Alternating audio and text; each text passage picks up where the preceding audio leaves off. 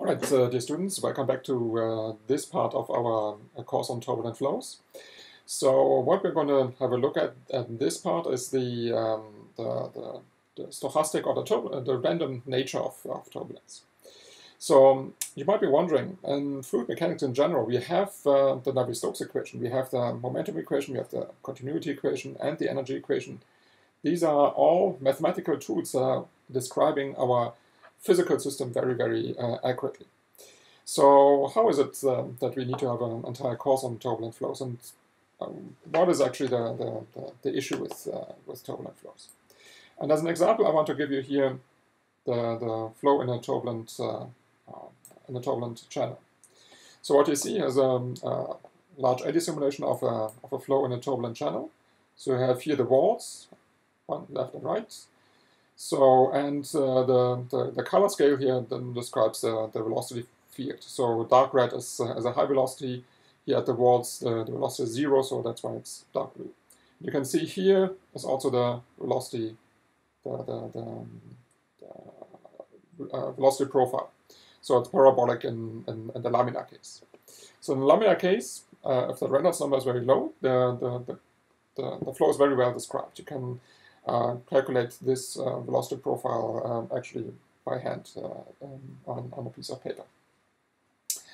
But now we, we're increasing the Reynolds number, and we want to see what's going to happen there. So we're going to have a look at the velocity profile over here, and we're going to look at uh, how the velocity is going to change here in this one point. Here's one point, the white point over there, and it's going to be plotted over here, the, the velocity as a function of time. So we'll start that now. You see, initially there's not much happening, but then there's going to be some small disturbances. And uh, uh, note that the disturbances here come from the center. That's more numerical artifact. The physical, in the physical world, they're coming more from the side. But you see, after a very short time, you see it's completely turbulent. That means you're not going to get uh, um, a very clean um, parabolic velocity profile anymore. Instead, uh, something very interesting is happening. And that is uh, that uh, you're getting a velocity profile that is changing over time all the time. So it's not um, uh, uh, for, for one time step one uh, one solution, but you have one for every time step one solution, but of course, but uh, it's changing uh, uh, all the time. And you see the velocity profile is now very very wrecked and it's changing.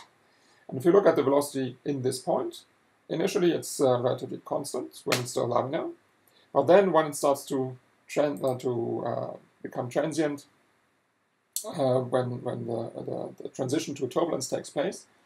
You see about here, if you look at that, then it suddenly becomes jumping up and down and up, up and down.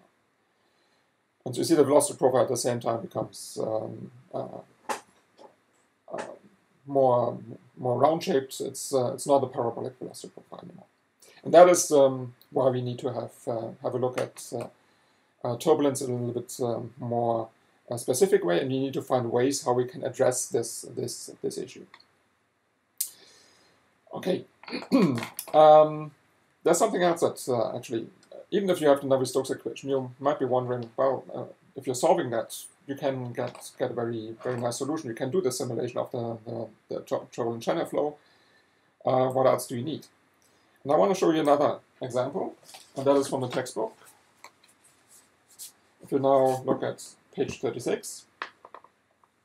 We have here the example of a, of a mathematical system, which is not an Navier-Stokes equation. It's quite a bit uh, simpler here. You see you have three variables, x, y, and z, and you're describing it with this uh, partial differential equation. So these are the Lorenz equations. Uh, where they come from is not, not much of importance for this course, but uh, I just want to give it as an example here how a well-described mathematical system can be very difficult to address um, uh, in, in, the real world. So you're having this mathematical system, and now you're using the initial condition here. You're, you're comparing now two cases. One is uh, where you have an initial condition x, y, and 0, z at uh, 0 are going to be 0 0.1, 0 0.1, 0 0.1. In the second example, x, y, and z are 0 0.1, So just a tiny change and 0.1, 0.1. So y and z don't even change. And here you can see then the solution to that. Here for the first case, you see the function goes up and down, up and down, up and down. So it's somewhat like a little bit like turbulence, uh, and it uh, looks a bit more stochastic. In the second case, we're changing the initial conditions just a tiny bit. You see, initially they, they look very similar, but then if you go more and more on, on in time, the, the, the functions look very, very different. And if you're now plotting, for example, the difference between these two solutions, initially they are pretty much the same. They're zero, but then the error is going to change, uh, the, the, the difference is going to change. Let me show you the, the same thing in, with our channel flow over here. Okay, here again you have two different channel flows. Uh, both of them are uh, at, at, a high Reynolds number. And uh, you see the upper one is a little bit different. It's um, uh, I've just added a tiny bit of uh, random fluctuations, and the random fluctuations are less than 1% of the, the, the, mean flow field. So you start out with a parabolic uh, velocity profile, in, in, in, the lower case, and the parabolic velocity profile in the upper case as well, but ju just added a tiny bit of uh, just random fluctuations. Now we can compare the, the velocity profile or the velocity distribution or the, the evo evolution in time in these points here. And so there's, you see they're both identical in, in both cases. And you see blue is the, the upper case, the red line is the, the lower case.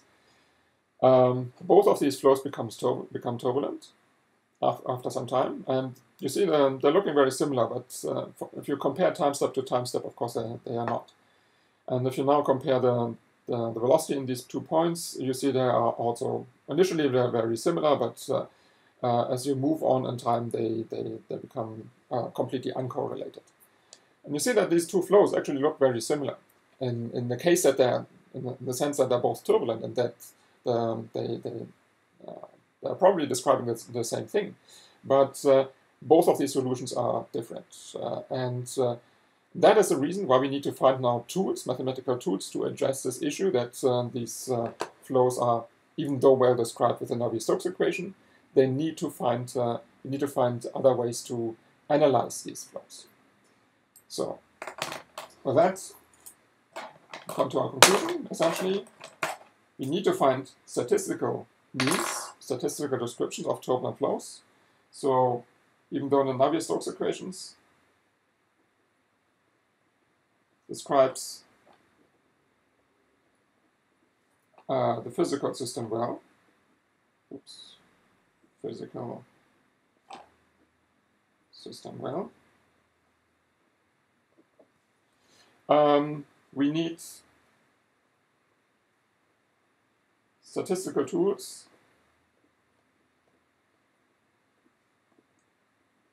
to analyze the flows.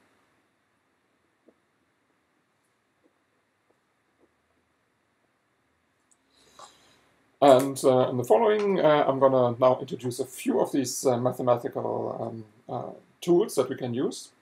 And um, uh, you're going to see that some of them are a little bit uh, dry from the mathematical point of view, but I need you to bear with me because once you understand how these mathematical tools work, they're very very powerful to, to analyze the flow. You can have a look at you you can with draw quite quite a lot of conclusions out of um, the, uh, the, the, turbulent flow using these mathematical tools. for that, in the, we're, we're going to follow on in the in the next segment.